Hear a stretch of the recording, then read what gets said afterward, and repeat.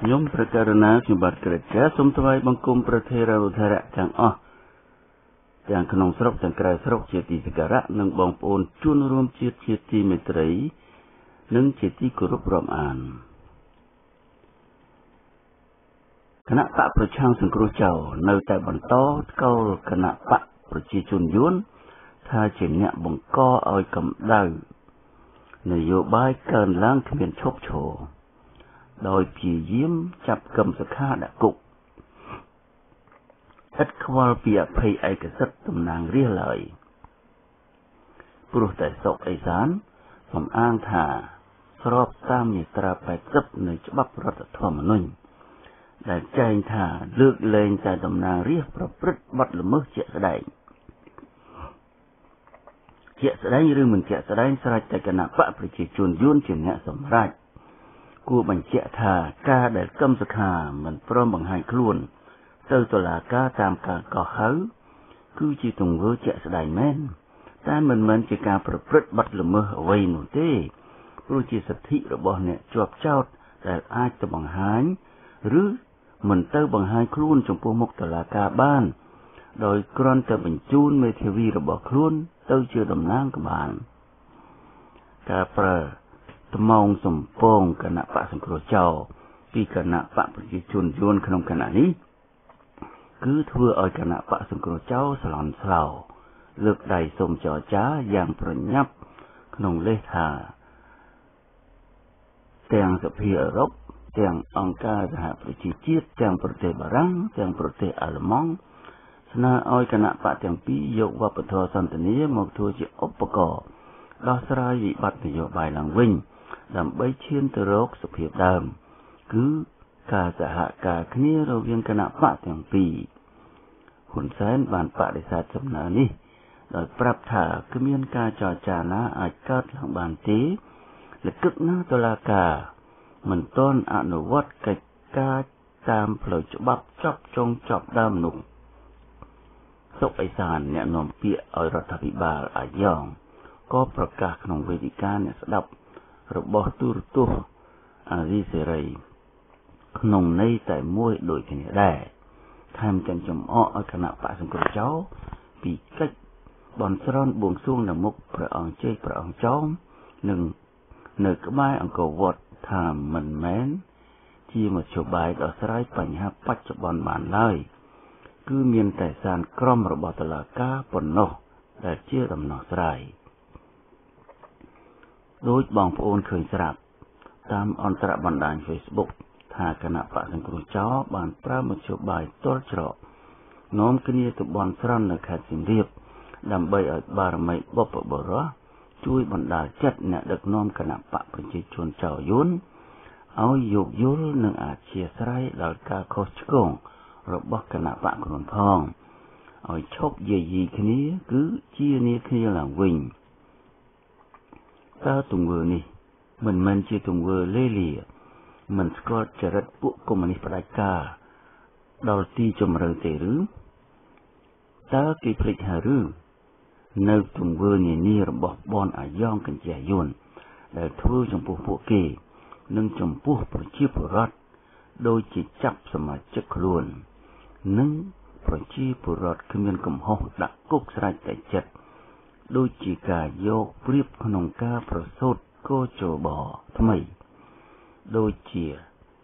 ការប្រើចំនួន50បូកនឹង1ជាឧបករណ៍ជន់កពួកខ្លួន ក្នុងសភាចៅគ្រប់ករណីដូចជាប្រើពួកខ្លួនឲ្យប្រថាប់ត្រាលើទង្វើទល់ច្រកនយោបាយរបស់ពួកវា ដូចជារំលោភលើអភ័យឯកសិទ្ធិតំណាងរាស្ត្រខ្លួន ដោយមិនរាប់ពីទង្វើសង្កត់សង្កិនប្លន់ដីប្រជាពលរដ្ឋបំផ្លាញធនធានធម្មជាតិរបស់ប្រជាជាតិឃាតកម្មរកមុខឃាតករមិនដែលឃើញ ព្រោះតែចោលកាន់អំណាចនៅពីក្រោយខ្នងអយុត្តិធម៌ក្នុងការកាត់ក្តីរបស់តុលាការចៅការមិនទប់ស្កាត់លំហូរចូលរបស់អន្តោប្រវេសន៍យួនគ្មានចំណាត់ការជាក់ស្ដែងចំពោះអំពើពុករលួយរបស់ពួកមន្ត្រីចៅធំធំ គ្មានការទប់ស្កាត់លំហូរចូលពីយួននៅសាច់នៅបន្លែនិងគ្រឿងបរិភោគពោពេញទៅដោយជាតិគីមីលក្ខណៈលក្ខតើក្នុងនាមនៃការផ្សះផ្សាជាតិការទៀមទារកការសន្ទនាចរចា ដើម្បីសហការគ្នាជាមួយបនចោមិនមែនជាទង្វើប្រថាប់ត្រាសាជាថ្មីឲ្យបនចោបន្តអំពើផ្ដាច់ការខុសខើរបស់វា ប្រថាប់ត្រាសាជាថ្មី លើអំពើលួចប្លន់សម្បត្តិប្រជាជាតិរបស់ពួកចោកន្លងមកទេឬតើទង្វើនេះមិនមែនជាការទទួលស្គាល់យន្តពនីយកម្មកម្ពុជា និងសហព័ន្ធឥណ្ឌូចិនក្រមអាណានិគមយួនដោយស្របច្បាប់ទេឬគណៈបកសង្គ្រោះជាតិដែលបានក្លាយជាគណៈបកសង្គ្រោះចោលមកដល់ថ្ងៃនេះមិនមែនមកពីការសម្បទានក្នុងការចរចា ឬពីស្ថានភាពទុនខ្សោយរបស់ខ្លួនក្នុងពេលចរចាទេឬគណៈបកសង្គ្រោះជាតិនិងអ្នកគ្រប់គ្រងមិនមែនមិនដឹងថា ខ្លួនធ្លាប់ចាញ់បោកបនចោលហើយ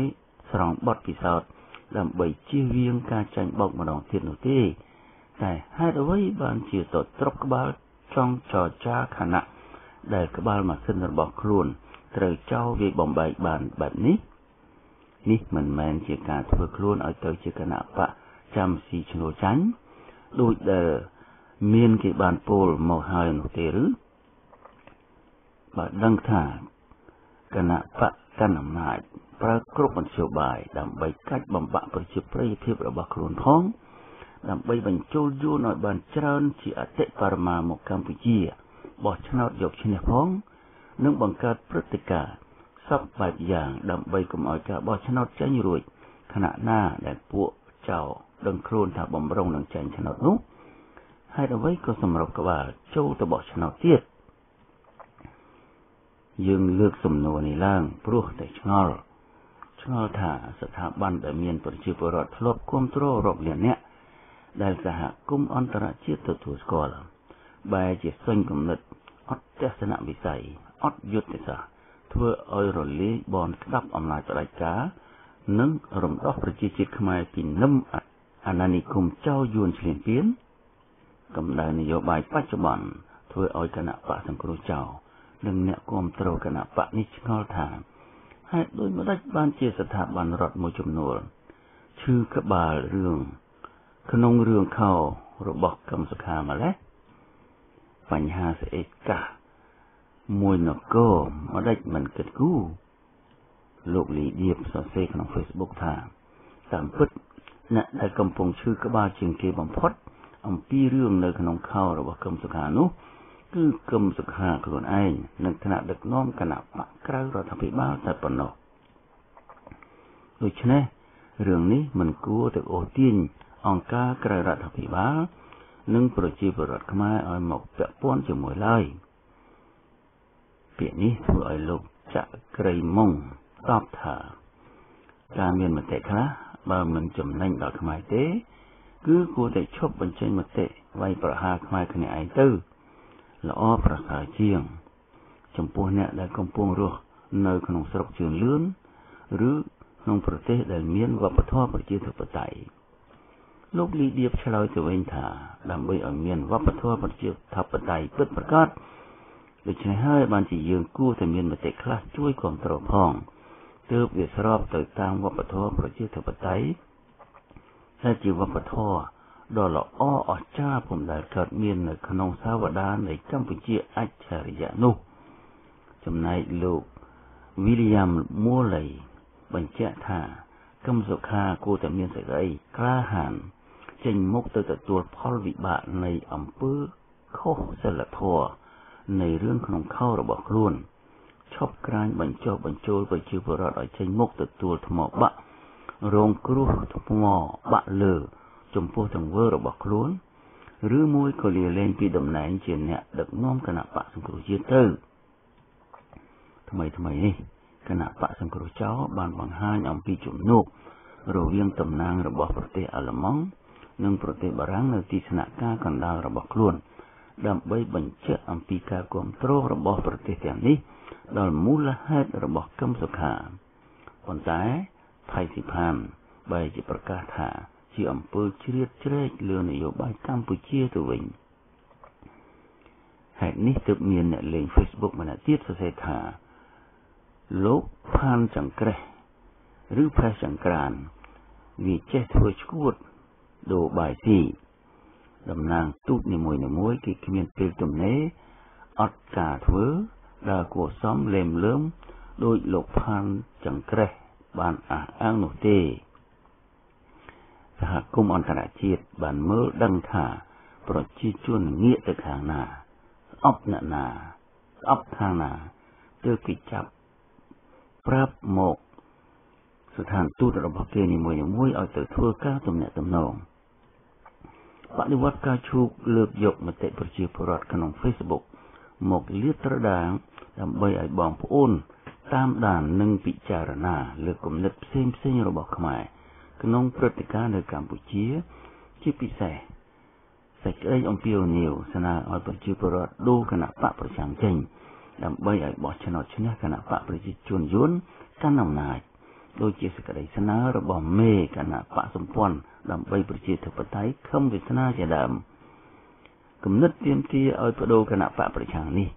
គឺមានទាំងគណៈបកអំណាចពលរដ្ឋរបស់សួនសេរីរដ្ឋាទាំងគណៈបកសម្បុកសង្គមប្រជាធិបតេយ្យរបស់មុំសននដូទាំងគណៈបកប្រជាធិបតេយ្យមូលដ្ឋានលក្ខណៈលក្ខសរុបមកគណៈបកនយោបាយទាំងអស់នៅកម្ពុជានាពេលបច្ចុប្បន្ននេះទោះ ក្នុងការរិះគន់គណៈបកផ្សេងឬក្នុងការធ្វើសម្ព័ន្ធភាពជាមួយគណៈបកផ្សេងគឺក្នុងគោលដៅតែមួយដូចគ្នា គឺនៅទីបំផុត ប្រមូលប្រជាពលរដ្ឋចូលរួមបោះឆ្នោតតទល់នឹងគណៈបកប្រជាជនយួនជាអាយ៉ងរបស់យួនមិនខុសពីបោះឆ្នោតតទល់នឹងយួននៅឡើយ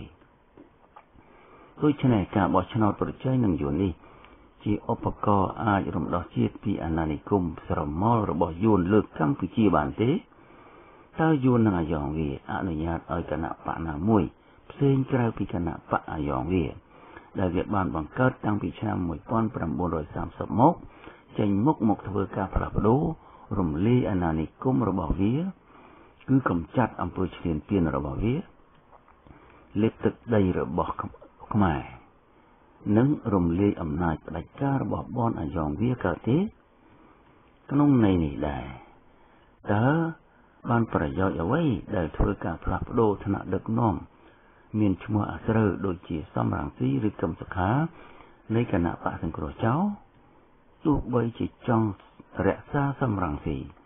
និងកឹមសុខាជាប្រធាននិងអនុប្រធានគណៈបកសង្គ្រោះចៅក្តី ឬចង់ដកចេញក្តី ក៏ការបោះឆ្នោតមិនអាចរំដោះជាតិចេញពីនឹមអាណានិគមយួនបានដែរ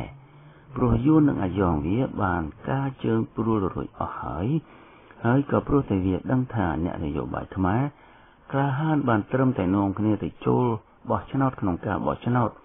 ដែលពួកវាជាអ្នករៀបចំតាមវាចង់តែប៉ុណ្ណោះគឺមិនអាចមានយុទ្ធសាស្ត្រអ្វីបំពេញបំណងផ្លាស់ប្ដូរដោយខ្លួនចង់បាន ឬ ដោយប្រជាពលរដ្ឋចង់បាននោះទេតើគេអាចសង្ឃឹមលើគណៈកម្មការមួយនៃសមាជិកតំណាងរាស្ត្រនិងសមាជិកព្រឹទ្ធសភាអាមេរិកដើម្បីទាមទាររដ្ឋាភិបាលហ៊ុនសែនគោរពសិទ្ធិមនុស្សនិងអនុវត្តឲ្យបានត្រឹមត្រូវនៅគោលការណ៍នៃកិច្ចព្រមព្រៀងប៉ារីសថ្ងៃទី23ដុល្លារ1991ក្នុងស្មារតីជានីតិរដ្ឋ មានប្រជាធិបតេយ្យពិតប្រាកដបានទេបើបានគឺជាជោគវាសនារបស់ប្រជាជាតិខ្មែរហើយនិងជាជោគជ័យធំមួយក្នុងការធ្វើឲ្យផ្នត់គំនិតពួកកុម្មុយនីសខ្មែរនិងពួកកុម្មុយនីសយួនប្រែប្រួលបានគណៈបកនយោបាយធំធំទាំងពីរដែលមានអាសនៈនៅក្នុងសភា ប្រកាន់ចំហរៀងរៀងខ្លួនជុំវិញការចរចា ក្នុងការដោះស្រាយវិបត្តិនយោបាយ បកប្រឆាំងបានបង្ហាញគោលបំណងរបស់ខ្លួនក្នុងការបញ្ចប់បញ្ហា ផ្ទុយទៅវិញបកកណ្ដាលអំណាចយល់ថាប្រសិនបើបកទាំងពីរផ្ដើមចរចានៅពេលនេះនឹងនាំឲ្យប៉ះពាល់ដល់នីតិវិធី របស់តុលាការក្នុងសំណុំរឿងមន្ត្រីនិងសកម្មជនបកប្រឆាំងគិតមកដល់ពេលនេះទៅហើយពុំទាន់ឃើញមានពន្លឺណាមួយដែលអាចបញ្ជាក់បានថាបកនយោបាយទាំងពីរ ដែលកំពុងអង្គុយបែរខ្នងដាក់គ្នាអាចវិលមកតុចរចានោះឡើយវិបត្តិនយោបាយដែលឈានទៅដល់ការបិទទ្វារបិទផ្លូវចរចានេះ អ្នកវិភាគមើលឃើញថាប្រសិនបើដូចអ្វីដែលគណៈបកគ្រប់គ្រងរដ្ឋាភិបាលអះអាងថាឲ្យបញ្ចប់នីតិវិធីរួចរាល់ជាមុនសិនតាមផ្លូវតុលាការនោះ មានន័យថាគឺជាការព្យាយាមស្ដារប្រជាប្រិយភាពដែលកំពុងតែបាក់ស្រុតប៉ុណ្ណោះ លោកមាសនេះអ្នកវិភាគឯករាជ្យចាត់ទុកថាប្រសិនបើការចរចារបស់គណៈបកនយោបាយទាំងពីរពុំបានលើកពីរបៀបវិរៈអ្នកជាប់ឃុំមកនិយាយទេបានន័យថាជំនួបដែលអាចនឹងកើតឡើងនោះ វានៅតែមិនស្ងប់ចិត្តពីខាងគណៈបកប្រឆាំងលោកបន្តថាបើសិនជាមានការផ្លាស់ប្ដូរផ្សេងផ្សេងមុនពេលដែលតុលាការសម្រេចនេះហាក់បីដូចជាធ្វើឲ្យគណៈបកប្រជាជននឹងបាក់មុខ ឬក៏ទទួលរងការតិទៀនថា អ្វីអ្វីវាកើតឡើងសុទ្ធតែជារឿងនយោបាយពេលខ្លះគណៈបកប្រជាជនចង់ទុកពេលនឹងស្ដារដែលវាកើតឡើងមកដល់ថ្ងៃនេះផងលោកយឹមសវណ្ណអ្នកនាំពាក្យគណៈបកសង្គ្រោះជាតិបញ្ជាក់នៅថ្ងៃទី22មិថុនាថាគិតមកដល់ម៉ោងនេះទៅហើយសញ្ញាវិជ្ជមានណាមួយនិយាយអំពីការចរចាពុំមានសោះឡើយភាពតានតឹងផ្នែកនយោបាយនេះ គេសង្កេតឃើញថាចាប់ផ្ដើមក្រោយពីព្រះរាជអាជ្ញាក្រុងភ្នំពេញចេញដីកាឲ្យចាប់ខ្លួនកម្មសុខា ក្នុងដំណាក់កាលចុងក្រោយនេះថ្មីបើបកកណ្ដាលអំណាចអះអាងថា កម្ពុជាពុំមានវិបត្តិនយោបាយដោយបកប្រឆាំងលើកឡើងគិតមកដល់ពេលនេះទាំងសហគមន៍ជាតិអន្តរជាតិនិងអគ្គលេខាធិការអង្គការសហប្រជាជាតិលោកបានគីមុនផង សុទ្ធតែបង្ហាញការព្រួយបារម្ភនិងកង្វល់ចំពោះចរន្តនយោបាយនៅកម្ពុជាពេលនេះក្នុងរឿងនេះដែរគណៈបកប្រជាជនកម្ពុជា បញ្ជាក់ចំហថាការជួបសន្ទនាណាមួយនៅពេលនេះ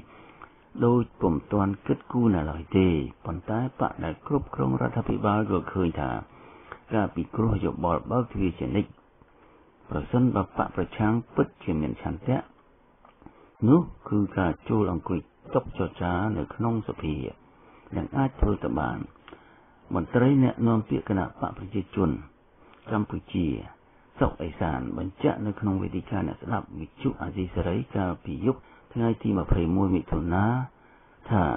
ចំហមុតមុំចុងក្រោយរបស់បកកណ្ដាលអំណាចគឺការនិយាយទៅដល់ការចរចាពីបរិបទនយោបាយពុំអាចកាត់ឡើងបានទេនៅពេលនេះផ្ទុយពីនេះទៅវិញ ប្រសិនបើសំណុំរឿងទាំងតំណាងរាស្ត្រនិងសកម្មជនរបស់គណៈបកប្រឆាំងឆ្លងផុតពីដំណាក់កាលនៃយុត្តាធិការរបស់តុលាការហើយប្រហែលជាអាចពិចារណាបានខ្លះសុកអេសានបន្តថាបើសិនជារឿងរួចរាល់ចំពោះជនប្រព្រឹត្តបទល្មើសទាំងប៉ុន្មានអ្នកនឹងរួចហើយយើងនឹងពិនិត្យលទ្ធភាពធ្វើការចរចាគ្នាប៉ុន្តែធ្វើឡើងនៅក្រោមលក្ខខណ្ឌមួយ មិនអាចចរចាដើម្បីដោះលែងអ្នកទោសជាប់ពន្ធនាគារទេគិតមកដល់ពេលនេះគណៈបកប្រឆាំងមានមន្ត្រីជាន់ខ្ពស់និងសកម្មជនខ្លួនមួយចំនួនទាំងអស់19នាក់ហើយកំពុងជាប់ឃុំនៅពន្ធនាគារប្រៃសណក្រៅពីនេះនៅមានតំណាងរាស្ត្រចំនួន7រូបផ្សេងទៀតកំពុងជាប់បណ្ដឹងនៅតុលាការប៉ុន្តែដាក់ឲ្យនៅក្រៅឃុំសម្ដីរបស់សុកអេសានមានន័យថា ឯងកុំសង្ឃឹមមកចរចាឲ្យដល់លែងពួកអ្នកជាប់ឃុំឲ្យសោះគឺមានន័យថាអញបិទទ្វារហើយព្រោះអញកំពុងតែបិទទ្វារវាយឆ្កែនេះតើសុកអេសានខ្លាចសង្គមរំពើតរំពើងទើបកម្លាំងប្រជាជនចេញមកបង្ក្រាបបាតកម្មដោយមានបញ្ជាក់ថាកម្លាំងប្រជាពលរដ្ឋណាព្រោះកម្លាំងប្រជាពលរដ្ឋខ្មែរមិនអាចបង្ក្រាបប្រជាពលរដ្ឋខ្លួនឯងទេ គឺមានតែកម្លាំងប្រជាពលរដ្ឋយួននៅក្នុងស្រុកខ្មែរទេ ដែលបង្ក្រាបប្រជាពលរដ្ឋខ្មែរនោះសុកអេសានអួតពីសន្តិភាពក្នុងទឹកភ្នែកនិងញើសឈាមរបស់ប្រជាពលរដ្ឋខ្មែរសប្តាហ៍ថ្ងៃនេះខ្លាំងណាស់ស្មានតែប្រជាពលរដ្ឋខ្មែរល្ងងមិនដឹងខ្យល់ថាសន្តិភាពសប្តាហ៍ថ្ងៃនេះបានមកដោយសារកិច្ចព្រមព្រៀងប៉ារីថ្ងៃទី23ដុល្លារ1991សោះ គំយកស្ថិរភាពសង្គមនិងករណីការពាររបស់អាជ្ញាធរធ្វើជាលេសដើម្បីបង្ក្រាបរាល់ការតវ៉ាសន្តិភាពក្នុងការបង្ក្រាបនិងចាប់ប្រជាពលរដ្ឋស្លូតត្រង់ដែលគ្មានទោសកំហុសតវ៉ាតស៊ូមតិដាក់គុកស្រាប់ចិត្តអាជ្ញាធរ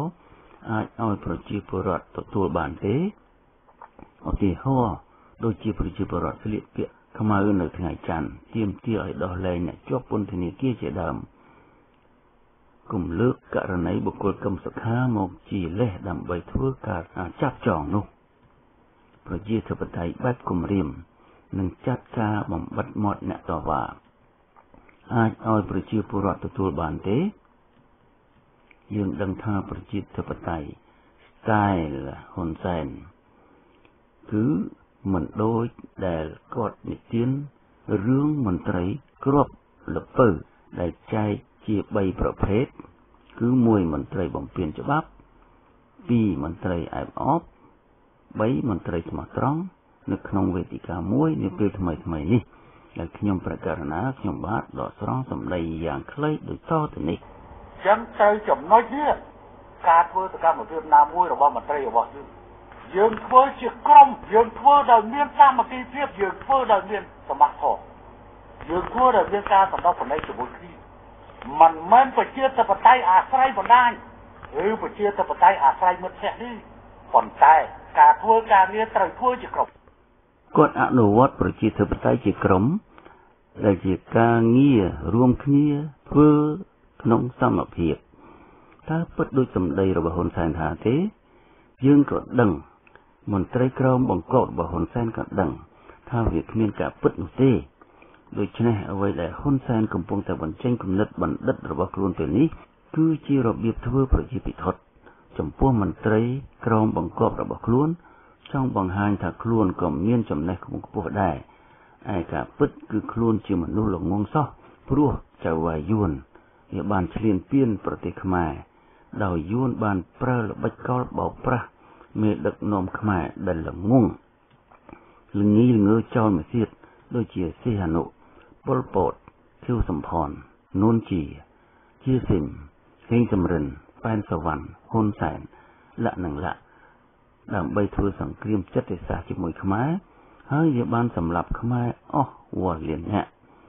វាបានបង្កើតគុកឥតជញ្ជាំងព្រោះតែរាជបល្ល័ង្កនិងអំណាច បានកាត់ទឹកដីព្រៃព្រឹក្សានិងនាំយួនចូលស្រុក បានប្លន់យកមាសពេជ្រមាសប្រាក់កែវកង ហើយថែមទាំងទុកឲ្យយួនរស់នៅក្នុងប្រទេសខ្មែរវល់លៀនអ្នកសរុបច្បាប់រហូតមកដល់សប្តាហ៍នេះទៀតផងដូច្នេះបើគ្មាន សង្គ្រាមលោកលើកទី3ទេឬក៏គ្មានសង្គ្រាមរវាងចិននិងយួនទេប្រទេសខ្មែរក៏មិនងាយនឹងរើបំរាស់ចេញពីក្រញាំ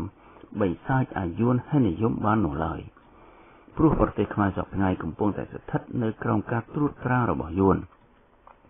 យួនវាបានធ្វើយួននៅបនិយកម្មគឺវាបង្កើតឲ្យមានខ្មែរក្បាលយួនខ្លួនខ្មែរបានសម្រេចដូចបំណងរបស់វាយួនជាមេក្រមៃវាទុកមេដឹកនាំខ្មែរជាដេរិឆាន ដើម្បីឲ្យទំពាស៊ីក្បាលប្រជារាស្ត្រខ្មែរវាបានបណ្ដុះវប្បធម៌របស់វាដោយយកខ្មែរក្បត់ជាតិ ជាឈ្នន់ដើម្បីសម្លាប់ខ្មែរអ្នកស្នេហាជាតិខ្មែរសម្លាប់ខ្មែរដោយអកតេយួនវាបានបន្សល់ចៅរាធិបតេយ្យទុកជាគេមរតកដល់សង្គមខ្មែរព្រោះវាជាចៅឆ្លៀនពៀនប្រវត្តិសាស្ត្រសូមកុំភ្លេចឲ្យសោះថាប្រទេសខ្មែរគឺជាប្រទេសរបស់ប្រជាពលរដ្ឋខ្មែរគឺមិនមែនជាកម្មសិទ្ធិរបស់បុគ្គលណាមួយនោះឡើយជាពិសេសក៏មិនមែនជាកម្មសិទ្ធិរបស់ជនបរទេសឬ ក៏ប្រទេសក្រៅមិនអាចជិះជាន់ឈ្លានពានស្រេចតែក្បាលចិត្តឬប្រើអំណាចដើម្បីគ្រប់គ្រងធ្វើជាឈ្នន់នោះបានឡើយយើងជាខ្មែរគ្រប់និន្នាការត្រូវងើបឡើងឬបំរាស់ជានិច្ចនៅក្នុងគ្រប់កលៈទេសៈទោះជាមានឧបសគ្គរារាំងយ៉ាងណាក៏ដោយយួនវាបង្កើនចំនួនជនជាតិរបស់វាមកក្នុងស្រុកខ្មែររាល់ថ្ងៃក្រោមការបិទភ្នែករបស់អាជ្ញាធរខ្វាក់ខួរ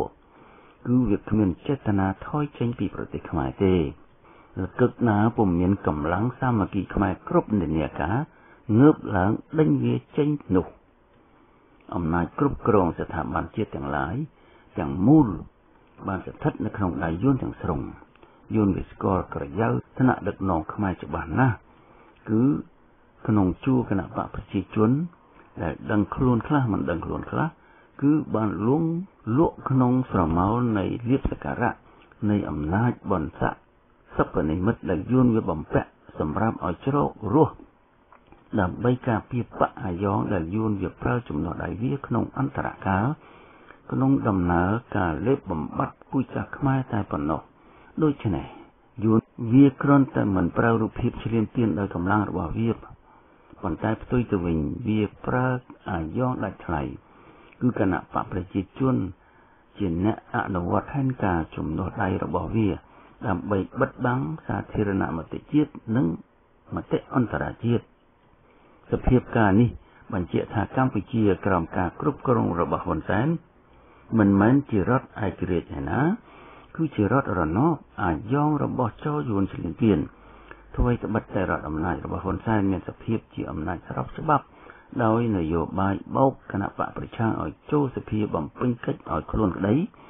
តែដែលមិនទាន់មាននិច្ឆានុគលភាពពិតប្រាកដនៅឡើយនោះ អង្គការសហប្រជាជាតិនិងសហរដ្ឋអាមេរិកមិនគួរធ្វើជាខ្វាក់ធ្វើជាខ្លងចំពោះការឈ្លានពានរបស់យួនដែលរំលោភកិច្ចព្រមព្រៀងប៉ារីសថ្ងៃទី23ដុល្លារ1991នោះឡើយព្រោះស្ថានភាពប្រទេសកម្ពុជារណបយួនមកដល់ថ្ងៃនេះ គឺដោយសារតែយួនវារំលោភកិច្ចព្រមព្រៀងប៉ារីសនេះឯងហើយដើម្បីឲ្យខ្មែរមានឯករាជ្យរដ្ឋខ្មែរទៅជារដ្ឋប្រជាធិបតេយ្យបានទាល់តែសហរដ្ឋអាមេរិកផងអង្គការសហប្រជាជាតិផងសហគមន៍អន្តរជាតិផងលើកយកកិច្ចព្រមព្រៀងប៉ារីស23ដុល្លារ1991សើរើឡើងវិញជាចាំបាច់ហើយការជានីរវាងគណៈបកប្រជាជនយួននិងគណៈបកសង្គ្រោះចោល មិនអាចនាំមកនៅឯករាជ្យដល់កម្ពុជាបានទេការបោះឆ្នោតឆ្នាំ2018ខាងមុខគឺសម្រាប់តែធ្វើឲ្យកម្ពុជា មានរដ្ឋាភិបាលមួយហាក់ដូចជាស្របច្បាប់តែប៉ុណ្ណោះគឺមិនធ្វើឲ្យកម្ពុជាបានឯករាជ្យពីយួននោះទេដូច្នេះទើបបដិវត្តកាឈូកអំពាវនាវហើយអំពាវនាវទៀតឲ្យប្រជាពលរដ្ឋខ្មែរងើបឡើងធ្វើបដិវត្តអហិង្សា ដោយទាមទារឲ្យអង្គការសហប្រជាជាតិសាររើកិច្ចព្រមព្រៀងនេះឡើងវិញជាបន្ទាន់និងស្នើឲ្យអង្គការសហប្រជាជាតិចាត់វិធានការការពារប្រជាពលរដ្ឋខ្មែរនៅពេលណាដែលប្រជាពលរដ្ឋងើបឡើងជាស៊ូណាមីធ្វើបាតកម្មទូទាំងប្រទេសដោយអហិង្សាដោយលើកបដាគ្រប់ផ្ទះទាមទារឲ្យមានការអនុវត្តកិច្ចព្រមព្រៀងប៉ារីនិងដេញចោលយួនចេញពីកម្ពុជានោះបើ សហរដ្ឋអាមេរិកនិងអង្គការសហប្រជាជាតិនៅតែបន្តសម្របខ្លួនទៅនឹងអាណានិគមយួននៅកម្ពុជា ប្រជាពលរដ្ឋខ្មែរគ្មានជំរើសណាផ្សេងក្រៅពីធ្វើកិច្ចការនេះដោយខ្លួនឯងនោះឡើយ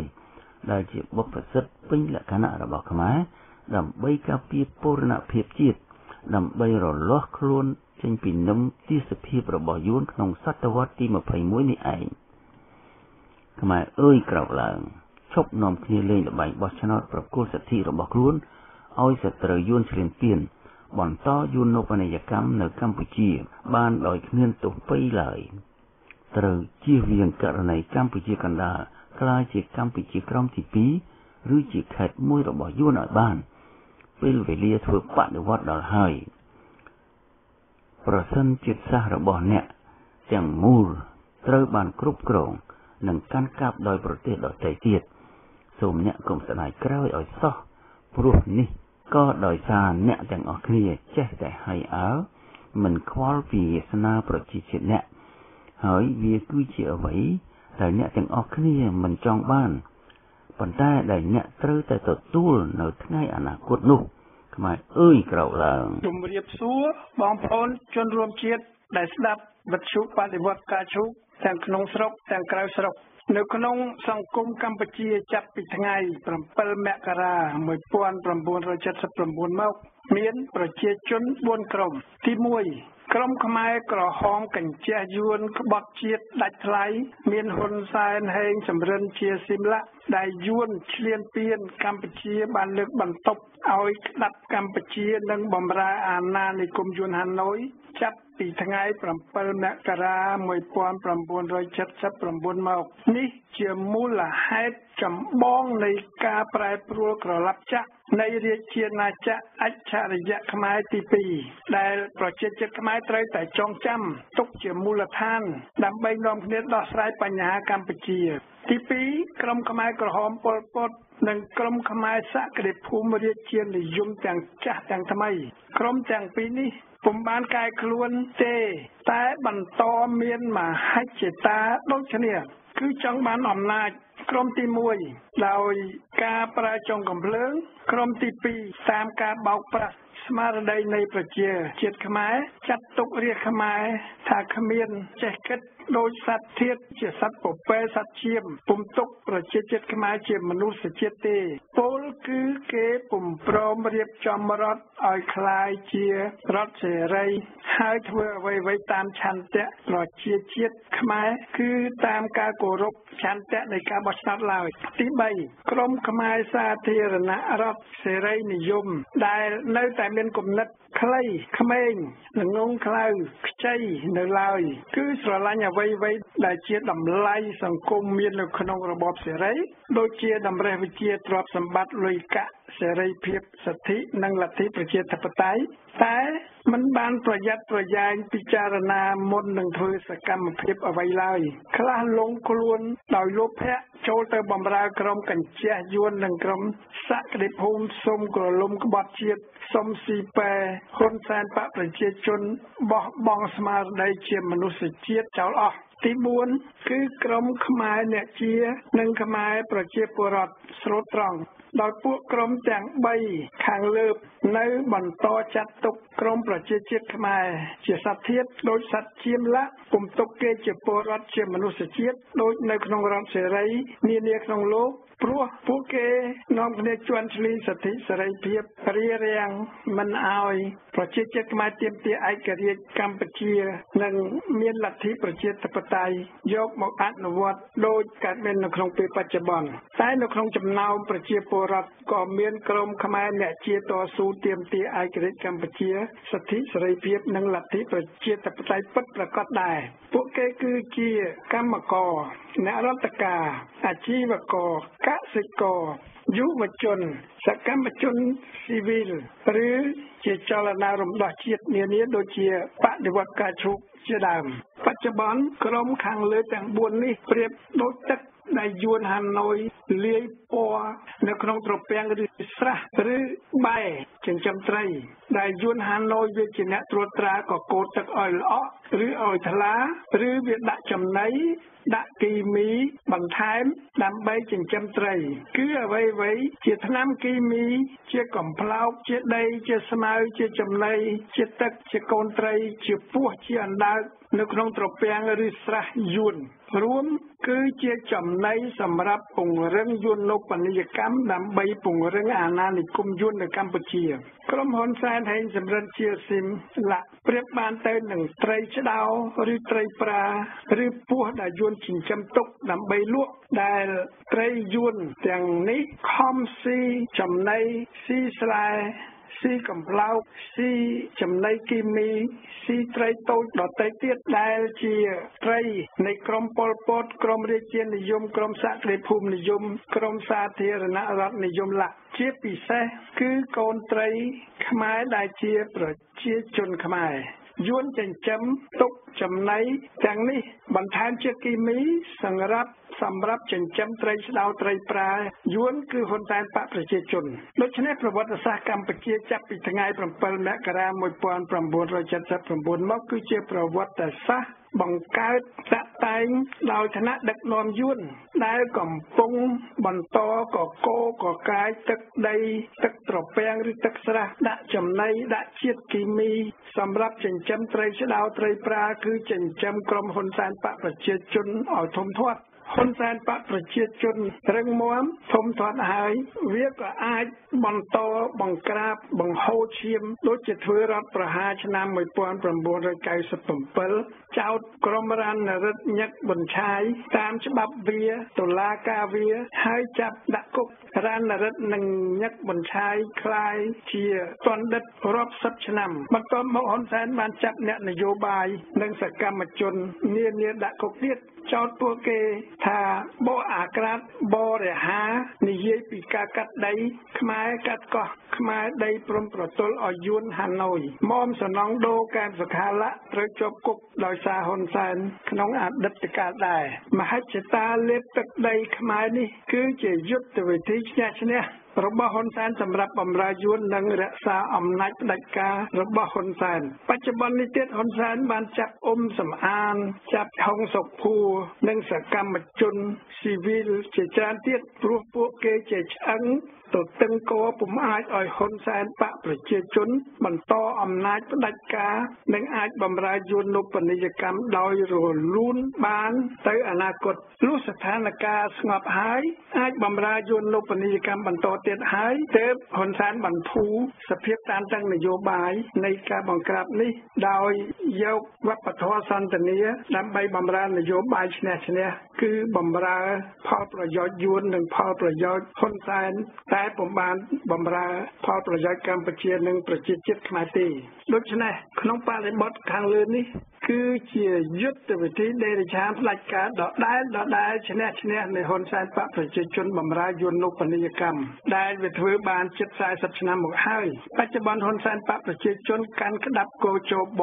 ដដែលហើយក្រុមហ៊ុនកូនសុកគង់មានកំណត់យួនគឺជាអ្នកចេញអត្តសញ្ញាណប័ណ្ណឲ្យជនជាតិខ្មែរដែលអាចបោះឆ្នោតបានប្រជាជាតិខ្មែរនិងខ្មែរអ្នកស្នេហាជាតិកំពុងមើលឃើញយ៉ាងច្បាស់ក្រឡែតពីមហាគ្រោះថ្នាក់ដល់ស្លាប់ក្នុងជ្រោះមរណៈនៃកម្ពុជានិងប្រជាជាតិខ្មែរដូច្នេះប្រជាជាតិខ្មែរត្រូវតែកិច្ចឲ្យផុតពីមហាគ្រោះថ្នាក់ដ៏ស្លាប់នេះគឺប្រជាជាតិខ្មែរត្រូវនាំគ្នា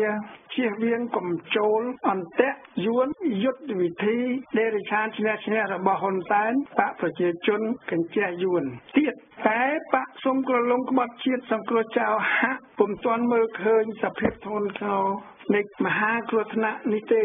ព្រោះគេកំពុងសង្ឃឹមស្រមៃថាគេអាចកាន់អំណាចជំនួសហ៊ុនសែនប្រជាជនយួនក្នុងឱកាសណាមួយក្នុងអនាគតតាមការបោះឆ្នោតតែនៅពេលនោះគឺពិតជាហួសពេល សម្រាប់កម្ពុជានិងប្រជាជាតិខ្មែរដើម្បីរើបំរាស់ខ្លួនឲ្យរស់រានមានជីវិតឡើងវិញ គឺកម្ពុជានិងប្រជាជាតិខ្មែរនឹងស្លាប់ព្រមយ៉ាងសត្រូវយួន និងហ៊ុនសែនកញ្ជះយួនខ្លាំងហើយកម្លាំងទាំងនេះក៏ព្រោះតែប្រជាជាតិខ្មែរចាញ់ឧបាយកលបោកប្រាស់នៃក្រុមសក្តិភូមិសុំក្រលំក្បត់ជាតិ ខ្មែរដែលបន្តលងងខ្វះយុទ្ធវិធីឈ្នះឈ្នះនិងបន្តសុំស៊ីពែពីសត្រូវយួនពីបកប្រជាជនយួនហ៊ុនសែនក្បត់ជាតិជាចៅ500បកប្រជាជនយួនហ៊ុនសែនវាមើលពុំឃើញសោះឡើយឬវាធ្វើជាខ្វាក់ប្រស្រីខ្វាក់ខួរមើលពុំឃើញពីមហាគ្រោះថ្នាក់ដ៏ស្លាប់នៃកម្ពុជាទេព្រោះពួកវាគឺជាពួកចៅ500និងជាអ្នកកសាងឲ្យមានមហាគ្រោះថ្នាក់នេះ តាមការជួយឲ្យអាណានិគមយួនអាចដេកទឹកដីខ្មែរតាមរយៈការប្រើអំណាចផ្ដាច់ការរបស់វាគឺសម្រាប់បង្ក្រាបសម្លុតប្រជាជាតិខ្មែរតាមរបៀបចៅ500ពិតពិតមានការលួចយកទ្រព្យសម្បត្តិជាតិយកទៅធ្វើជាសម្បត្តិផ្ទាល់ខ្លួនចែកចាយឲ្យ ចិនយួនបរទេសជន់ឈ្លីសិទ្ធិសេរីភាពនៃប្រជាជាតិខ្មែរនិងសម្រាប់លទ្ធិប្រជាធិបតេយ្យនៅក្នុងព្រះរាជាណាចក្រទី2ទីងមងដែលវាយកធ្វើជាឈ្នន់នៃបពពួកវារីឯអន្តរជាតិគេមើលឃើញមហាគ្រោះថ្នាក់ទាំងនេះតាមរយៈប្រយោជន៍និងចក្ខុវិស័យរបស់ជាតិគេ តែយ៉ាងហោចណាស់ក៏អន្តរជាតិបានតាក់តែងសរសេរកិច្ចព្រមព្រៀងប៉ារីថ្ងៃ23ដុល្លារ1991 1តម្រូវឲ្យបរទេសដកទ័ពចេញពីស្រុកខ្មែរនិងជួយឲ្យប្រជាជាតិខ្មែរតស៊ូខ្លួនឯងដើម្បីសិទ្ធិសេរីភាពនិងលទ្ធិប្រជាធិបតេយ្យដោយប្រជាជាតិក្នុងប្រទេសសេរីនានាក្នុងបរិបទសង្គមខ្មែរបច្ចុប្បន្ននិងក្នុងចក្ខុវិស័យផ្សេងគ្នាខុសគ្នាលើជោគវាសនានិងមហាគ្រោះថ្នាក់នៃកម្ពុជា តើកម្ពុជានិងប្រជាជាតិខ្មែរនឹងคลายទៅជាយ៉ាងណាទីមួយអនាគតវាអាស្រ័យលើឆន្ទៈនិងស្មារតីតស៊ូនៃប្រជាជាតិខ្មែរខ្លួនឯងគឺធ្វើយ៉ាងណាបំផ្លាញកុំឲ្យយុទ្ធវិធីឈ្នះឈ្នះរបស់ហ៊ុនសែនបកប្រជាជនយួនអាចមានដំណើរទៅមុខដោយរលូនបាន គឺប្រជាជាតិខ្មែរត្រូវឈប់ធ្វើអ្វីៗដែលជួយពង្រឹងរបបផ្ដាច់ការកញ្ចក់យួនហាណូយនេះទី2អនាគត អាស្រ័យលើសមត្ថភាពនៃអ្នកដឹកនាំខ្មែរស្នេហាជាតិទី3អនាគតវាអាស្រ័យលើការភ្ញាក់រលឹកនៃពួកអតីតខ្មែរក្រហមកុម្មុយនីសកញ្ជះយួននិងពួកខ្មែរសក្តិភូមិរាជានិយមដែលហាក់បន្តធ្វើជាមមាញចូលភ្លើងផងដែរអនាគតវាអាស្រ័យលើស្ថានភាពអន្តរជាតិផងដែរ ឡាដូច្នេះប្រជាជាតិខ្មែរត្រូវតែជៀសវាងជាដាច់ខាតកុំធ្វើទង្វើជាកំហុសដដែលដដែលដែលនាំឲ្យកើតមានព្រឹត្តិការណ៍ដដែលដដែលគឺការចាញ់បោកនយោបាយឈ្នះឈ្នះរបស់ហ៊ុនសែនបកប្រជាជនយួនហាណូយជារួមគោលដៅនៃប្រជាជាតិខ្មែរគឺរំដោះកម្ពុជាឲ្យទទួលឯករាជ្យសិនទើបរដ្ឋខ្មែរមានសេរីភាពអាចប្រើលទ្ធិប្រជាធិបតេយ្យប្រគល់សិទ្ធិសេរីភាពឲ្យប្រជាជាតិឬអ្នកដឹកនាំប្រទេសតាមការបោះឆ្នោតដោយសេរីបើប្រជាជាតិនាំគ្នាទៅបោះឆ្នោតក្នុងបរិបទនយោបាយផ្ដាច់ការសពថ្ងៃនេះទៀតនោះគឺប្រជាជាតិខ្មែរប្រៀបបានទៅនឹងសត្វមមាញនាំគ្នាហើរចូលភ្លើង ដែលយួនហ៊ុនសែនបកប្រជាជននិងបកសង្គ្រោះចោលសូមក្រឡុំក្បត់ជាតិនាំគ្នា អុចភ្លើងនៅពេលភ្លៀងខែវស្សាដូចលើកមុនមុនទៀតគឺ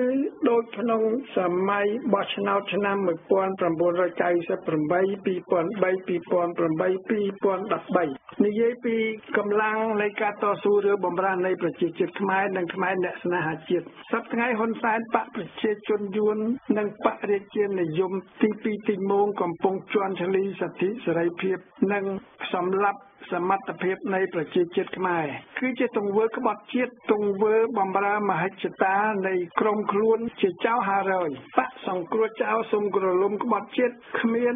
នយោបាយរំដោះជាតិទេព្រោះពួកគេមិនហ៊ានឬមិនចេះដកមេរៀនពីប្រវត្តិសាស្ត្រដ៏ជូរចត់ថា ក្រុមកុម្មុយនីសខ្មែរក្រហមជាក្រុមក្បត់ជាតិជាមួយស្ដេចនិងជាមួយក្រុមសក្តិភូមិរាជានិយមហើយគេនៅតែតាក់ទាញឲ្យប្រជាជាតិខ្មែរបន្តការសង្ឃឹមលើគេថាមានចិត្តស្នេហាជាតិក្នុងខ្យល់ នៃក្រមក្បត់ជាតិទាំងពីរខាងលើដូច្នេះពួកសង្គ្រលំក្បត់ជាតិនឹងនៅតែបន្តបោកប្រាស់ប្រជាជាតិខ្មែរគៀងកោឲ្យទៅចូលរួមបោះឆ្នោតបំរើនិងពង្រឹងអាណានិគមយួនបណ្ដោយឲ្យយួនហ៊ុនសែនបន្លំឆ្នោតគ្រប់សម័យកាលក្រោមការត្រួតត្រាក្បត់ជាតិនៃហ៊ុនសែននិងបពពួកដែលជាអាយ៉ងយួនដើម្បីដេញអាណានិគមយួនប្រជាជាតិខ្មែរត្រូវងើបទាំងអស់គ្នាទាមទារយកឯករាជ្យ ហើយសូមឲ្យអន្តរជាតិដាក់សម្ពាធនយោបាយសេដ្ឋកិច្ចទៅលើយួនហាណូយឲ្យដកខ្លួន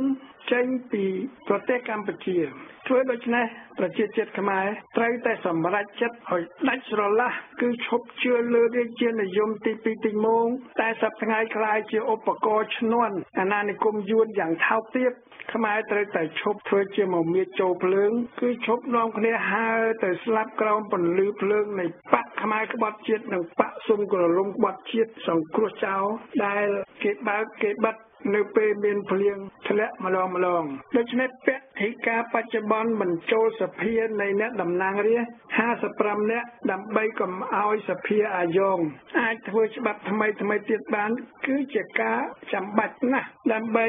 ជួយប្រជាជាតិខ្មែរជួយ ប្រទេសកម្ពុជា ដែលបូកនឹងពហិការនៃបកនយោបាយនានានៃប្រជាជាតិខ្មែរដែលនឹងមិនចូលរួមបោះឆ្នោតគឺជាគន្លឹះនៃបដិវត្តរំដោះកម្ពុជា ជាមុននិងរំដោះប្រជាជាតិពីអាណានិគមយួនពីអំណាចផ្ដាច់ការហ៊ុនសែនបកប្រជាជនដូច្នេះប្រជាជាតិខ្មែរត្រូវតែ មានការប្រយ័ត្នខ្ពស់ពីអន្តៈថ្មីថ្មីទៀតឬយុទ្ធវិធីឈ្នះឈ្នះរបស់ហ៊ុនសែនក្បត់ជាតិនិងបកប្រជាជនហ៊ុនសែនវាប្រើយុទ្ធវិធីទាំងនេះដើម្បីសម្លុតនិងធ្វើច្បាប់ថ្មីថ្មីបំរើបវាបំរើយួនដើម្បីចាប់ខ្មែរអ្នកប្រឆាំងដាក់គុកវប្បធម៌សន្តានាចរចានានា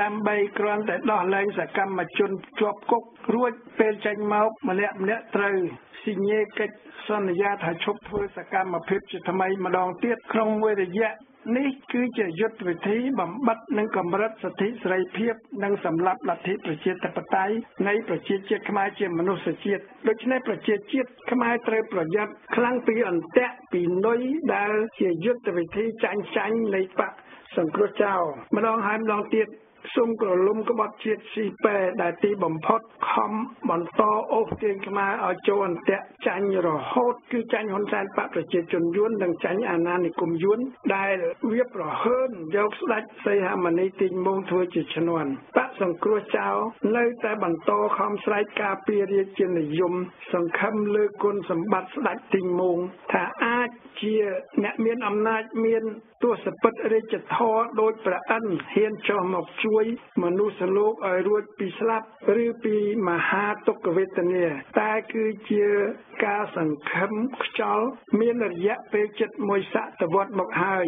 ដោយការសង្ឃឹមលើ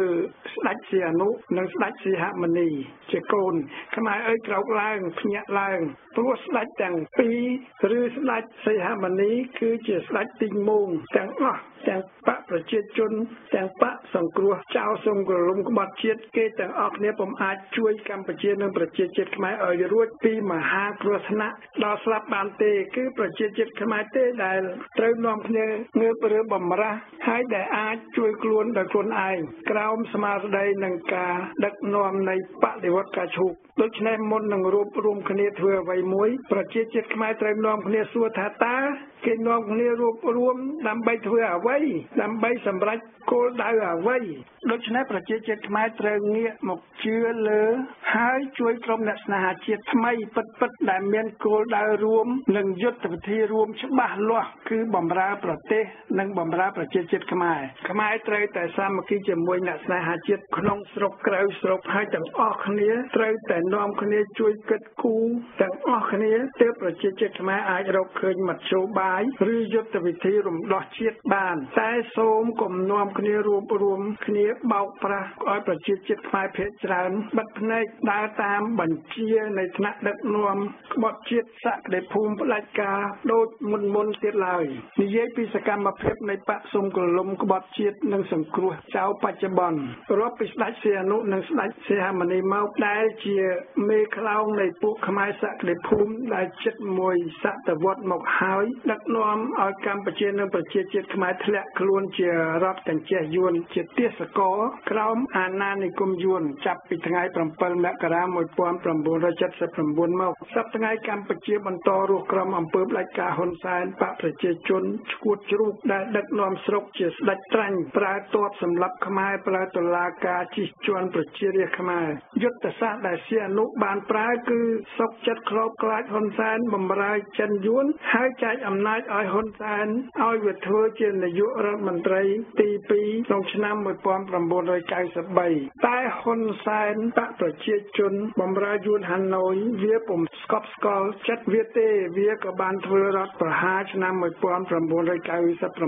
តាមបញ្ជាយួនដណ្ដើមយកអំណាចទាំងស្រុងមកកាន់ក្តាប់វិញតាមការសម្លាប់អ្នកប្រឆាំងរាប់រយនាក់យុទ្ធសាស្ត្រដែលសំរងស៊ីកែមសខាបានចរចា បង្កើតវប្បធម៌សន្តានាគឺជាយុទ្ធសាស្ត្រចាញ់ចាញ់ដើម្បីស៊ីសុហើយឆ្លើយប្រាប់ប្រជាជាតិខ្មែរថាគ្មានជំរឿធ្វើក្រៅពីចូលសភាទេ គឺជាការបោកប្រាស់ក្បត់ឆន្ទៈរាជខ្មែរដើម្បីការពារនិងបំរើក្រមសក្តិភូមិរាជានិយមទី2ទីមងនិងបំរើអាណានិគមយួនដដែលសប្តាហ៍ថ្ងៃហ៊ុនសែនបកប្រជាជនយួនកំពុងអូសទាញឲ្យបកសង្គ្រោះចោលសុំក្រលុំក្បត់ជាតិឲ្យចូលអន្ទាក់វាម្ដងទៀតគឺនៅឆ្នាំ2015 2017និង2018តាមការចាប់សកម្មជនគ្រប់មជ្ឈដ្ឋានសម្លុតទាំងតំណាងរាស្ត្រទាំងព្រឹទ្ធសមាជិកដាក់គុកដើម្បីឲ្យបកសង្គ្រោះចោលចូលចរចាប៉ះប៉ូវសន្ទនាម្ដងហើយម្ដងទៀតដើម្បីវាដោះលែងអ្នកប្រឆាំងទាំងនោះគឺបកទាំងពីរ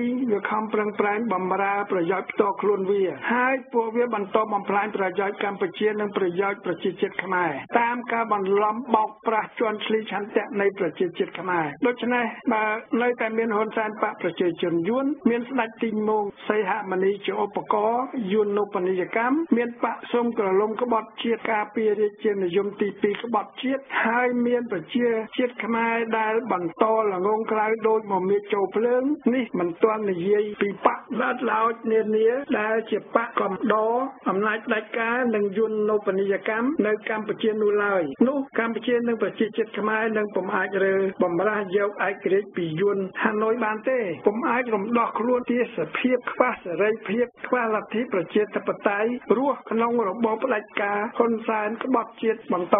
ដូច្នេះប្រជាជាតិខ្មែរត្រូវតែឈប់ជឿស្លង100%លើឆន្ទៈនយោបាយនៃបកសង្គ្រោះចៅសុំក្រលុំក្បត់ជាតិព្រោះដើម្បីកុំឲ្យអស់ស្រូវពូជខូចអនាគតជាតិព្រោះនាំឲ្យប្រជាជាតិពុំអាចបន្តប្រកបមុខរបរធ្វើស្រែរកស៊ីចិញ្ចឹមជីវិតនិងចិញ្ចឹមកូនឲ្យរស់បានទៅអនាគតគឺមានតែប្រជាជាតិខ្មែរខ្លួនឯងទេដែលអាចទប់ស្កាត់ដោយខ្លួនឯងកុំឲ្យកម្ពុជានិងប្រជាជាតិខ្មែរដើរចូលក្នុងមហាជ្រោះមរណៈដ៏ជ្រៅខាងមុខនេះបានមកឲ្យក្រោកឡើងក្រោកទាំងអស់គ្នាទាំងក្នុងស្រុកទាំងក្រៅស្រុកនិយាយពីយុទ្ធវិធីឈ្នះឈ្នះនៃហ៊ុនសែនផ្ដាច់ការក្បត់ជាតិនិងបកប្រជាជនយួនហាណូយនៅកម្ពុជាមកលើប្រជាជាតិខ្មែរគឺដើម្បីបន្តបំរើរបបអាណានិគមយួនហាណូយទៀតចាប់ពីថ្ងៃ7មករា1979មកតាមរយៈរបបរាជានិយមទី2ទីម៉ូដែលជាឧបករណ៍ជាឈ្នន់នៃហ៊ុនសែនបកប្រជាជន សម្រាប់បំរើអាណានិគមយួន គឺជារបបក្បត់ជាតិរបបចោលហារយរបបក្រពើវង្វេងបឹងបំរើតែក្រុមគ្រួសារវាបំរើក្រុមម៉ាហ្វយ៉ាបំរើបរទេសចិនយួនមើងងាយប្រជាជាតិខ្មែរមើងងាយអន្តរជាតិព្រោះពួកវាទុកប្រជាជាតិខ្មែរជាក្រុមសត្វដេរឆានព្រោះវាហ៊ានបង្ក្រាបសម្លុតសម្លាប់ប្រជាជាតិខ្មែរឲ្យបាត់អស់នៅសិទ្ធិសេរីភាពនិងខ្វះលទ្ធិប្រជាធិបតេយ្យតាមការបង្កើតច្បាប់ថ្មីថ្មីគ្មានគិតគូរវែងឆ្ងាយតាមប្រព័ន្ធគ្រប់គ្រង50បូក1ដែលជាប្រព័ន្ធជួយបង្កើតឡើងដោយសំរងស៊ីតាមការលុបប្រព័ន្ធគ្រប់គ្រងចាស់2ភាគ3ការចាញ់កលនយោបាយហ៊ុនសែនបកប្រជាជននិងចាញ់កលល្បិចអាណានិគមយួនគឺជាការចាញ់ប្រៀបនៃយុទ្ធវិធីដោយបកសង្គ្រោះចៅសុំក្ររុំក្បត់ជាតិក្បត់ប្រជាជាតិខ្មែរជារួមអំពើផ្ដាច់ការបច្ចុប្បន្ននៃហ៊ុនសែនបកប្រជាជនគឺដើម្បីពង្រឹងអាណានិគមយួនបន្តដែលពុំអាចឲ្យប្រជាជាតិខ្មែរទទួលយកបានទេព្រោះពួកវាអនុវត្តការបង្ក្រាបសម្លាប់ការងើបបះបោទាមទារឯករាជ្យទាមទារសិទ្ធិសេរីភាពទាមទារលទ្ធិប្រជាធិបតេយ្យដែលជាសិទ្ធិសេរីភាពរបស់កម្ពុជានិងប្រជាជាតិខ្មែរព្រោះប្រជាជាតិខ្មែរគឺជាមនុស្សជាតិព្រោះនយោបាយហ៊ុនសែនបកប្រជាជនយួនហាណូយគឺជាសភាវគតិនៃរបបដេរិឆានក្បត់ជាតិអក្រិតជនគឺជារបបនៃក្រពើវង្វេងបាំងព្រោះពួកហ៊ុនសែនដេរិឆានវាមិនគោរពច្បាប់ជាតិផងច្បាប់អន្តរជាតិផងបែរជាក្បត់ជាតិបំរើយួននុបនីយកម្មបំរើ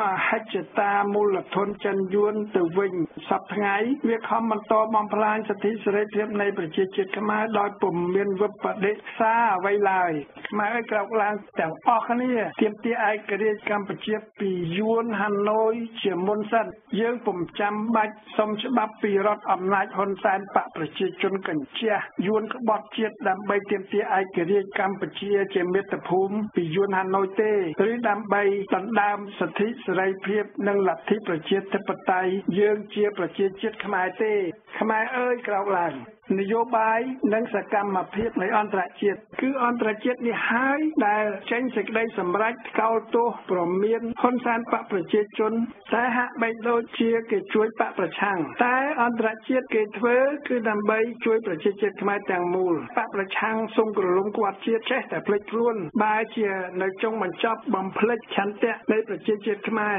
បែរជាស៊ីស៊ូសុំក្រឡុំជាមួយបកប្រជាជនកាន់អំណាចទៅវិញដូច្នេះបើពុំមានមានការភ្ញាក់រលឹកនិងការធ្វើសកម្មភាពធំធេងនៃប្រជាជាតិខ្មែរក្នុងស្រុកទេ កម្ពុជាពុំអាចរើបំរាស់ពីក្រញាំយួនហាណូយបានទេ និងពុំអាចរើបំរាស់ពីក្រញាំជនផ្ដាច់ការហ៊ុនសែនបានទេ អ្វីៗដែលខ្មែរកំពុងនាំគ្នាធ្វើ ជាសមាគមសូមឲ្យមានការអនុវត្តកិច្ចព្រមព្រៀងប៉ារី23ដុល្លារ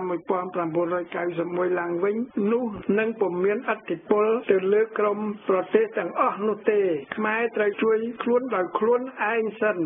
ដូច្នេះអន្តរជាតិជាទូទៅត្រូវតែទទួលបានដំណឹងពីបាតកម្មពីការតវ៉ានៃប្រជាជាតិខ្មែរ គឺនៅពេលមុនធ្វើសកម្មភាពជាបាតកម្មនានា នៅពេលធ្វើសកម្មភាពជាបាតកម្មឬពហិការ នៅក្រោយពេលធ្វើសកម្មភាពគ្រប់បែបយ៉ាង ដើម្បីរៀបរាប់ពីលទ្ធផល ពីរបួសពីគ្រោះថ្នាក់ពីការបង្ក្រាបដោយរដ្ឋអំណាចយួននិងរដ្ឋអំណាចផ្ដាច់ការហ៊ុនសែនបកប្រជាជន អន្តរជាតិគឺអង្គការសហប្រជាជាតិគឺអឺរ៉ុបគឺសហរដ្ឋអាមេរិកគឺតុលាការព្រហ្មទណ្ឌអន្តរជាតិគឺតុលាការយុត្តិធម៌អន្តរជាតិឡានយោបាយអន្តរជាតិបូករួមជាមួយសកម្មភាពខ្លាំងក្លានៃប្រជាជាតិខ្មែរជាទូទៅក្នុងពិភពលោកទើបអាចយកជ័យជំនះលើយួនអាណានិគមលើអំពើផ្ដាច់ការហ៊ុនសែនបកប្រជាជនលើអំពើបោកប្រាស់នៃបកសង្គ្រោះចៅសុំក្រលំក្បត់ជាតិបានតែប្រជាជាតិខ្មែរត្រូវធ្វើតាមយុទ្ធវិធីច្បាស់លាស់ក្នុងរចនាសម្ព័ន្ធមួយដែលចេញមកពីការតាក់តែងកើតពីមហាសាមគ្គីនៃជនជាតិខ្មែរគ្រប់ទីទីហើយដែលមានគោលដៅច្បាស់លាស់គឺរំដោះកម្ពុជាជាដំបូងនិងរំដោះប្រជាជាតិខ្មែរមុននឹងប្រកួតសិទ្ធិសេរីភាពលទ្ធិប្រជាធិបតេយ្យជូនប្រជាជាតិខ្មែរតាមការបោះឆ្នោតដូច្នេះដើម្បីរំដោះកម្ពុជានិងរំដោះប្រជាជាតិខ្មែរទាមទារឯករាជ្យសិទ្ធិសេរីភាពនិងលទ្ធិប្រជាធិបតេយ្យប្រជាជាតិខ្មែរត្រូវចាប់ផ្ដើមងើបឬបំរាស់តាមកោសិកាតូចតូចជាបុគ្គលម្នាក់ម្នាក់ដើម្បីរក្សាសវត្ថភាពរៀងរៀងខ្លួនព្រោះឈរលើគោលការណ៍អហិង្សាជាដំបូងត្រូវចាប់ផ្ដើមរំលែកបែងចែកការងាររំដោះជាតិទៅតាមសមត្ថភាពទៅតាមទីកន្លែងនៃប្រជាជាតិខ្មែរដោយឈរលើមូលដ្ឋានភាសាបុរាណខ្មែរថាឈើត្រង់ធ្វើកម្មឈើកោងធ្វើកង់ខ្មែរក្នុងស្រុកមានភារកិច្ចរំដោះកម្ពុជាពីយួនតាមគ្រប់មធ្យោបាយរំដោះប្រជាជាតិពីហ៊ុនសែនជនផ្ដាច់ការតាមមហាបដកម្មអហិង្សា និងមធ្យោបាយជាមហាពហិការនៃប្រជាជាតិខ្មែរខ្មែរក្នុងស្រុកនិងក្រៅស្រុកមានភារកិច្ចប្រកាសប្រាប់និងអំពាវនាវឲ្យអន្តរជាតិដឹងឮនិងជួយគ្រប់គ្រងដូច្នេះគឺកម្ពុជានិងប្រជាជាតិខ្មែរទាំងមូលដែលរួបរួមសាមគ្គីគ្នារំដោះមាតុភូមិជាដំបូងសិនតាមគោលការណ៍ធ្វើស្រែនិងទឹកធ្វើសឹកនិងបាយប្រជាជាតិខ្មែរត្រូវធ្វើសង្គ្រាមរំដោះកម្ពុជាដោយអហិង្សាដោយឈរលើមូលដ្ឋានកិច្ចព្រមព្រៀងប៉ារីថ្ងៃ23ដុល្លារ1991និងឈរជាមួយអង្គការសហប្រជាជាតិអហិង្សាគឺជាគោលការណ៍នៃការរំដោះជាតិនិងរំដោះប្រជាជាតិខ្មែរដើម្បីសិទ្ធិសេរីភាពនិងលទ្ធិប្រជាធិបតេយ្យបើយួនហាណូយនិងហ៊ុនសែនបកប្រជាជនប្រើហិង្សាជាការបង្ហូរឈាមនោះប្រជាជាតិខ្មែរមានសិទ្ធិតបតព្រោះស្របច្បាប់អន្តរជាតិពលគឺបើហ៊ុនសែនបកប្រជាជននិងយួនហាណូយប្រើហិង្សាបង្ហូរឈាមដើម្បីបន្តនិងពង្រឹងអាណានិគមយួននិងអំពើផ្ដាច់ការវាមកលើប្រជាជាតិខ្មែរនោះខ្មែរត្រូវពឹងលើច្បាប់ជាតិនិងច្បាប់អន្តរជាតិដើម្បីរកយុត្តិធម៌តាមរយៈតុលាការព្រហ្មទណ្ឌអន្តរជាតិនិងតុលាការយុត្តិធម៌អន្តរជាតិ ICC និង ICJ តែបើមានហិង្សាតបតវិញព្រោះប្រជាជាតិខ្មែរទ្រាំលែងបាន គឺដើម្បីការពារខ្លួន droit de défense នោះប្រជាជាតិខ្មែរត្រូវតែធ្វើដោយកុំឲ្យមានខ្មែររងគ្រោះច្រើនព្រោះបដិវត្តការឈូកកាត់ឡើងដោយប្រជាជាតិធ្វើជាមួយប្រជាជាតិនិងដើម្បី